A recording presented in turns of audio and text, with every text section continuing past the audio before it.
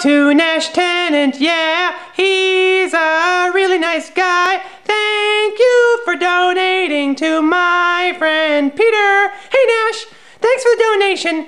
Um, go blue! You know, it pains me to say that because I didn't actually go there. Puppets don't usually get accepted into colleges. that's the life we lead. Say, la vie.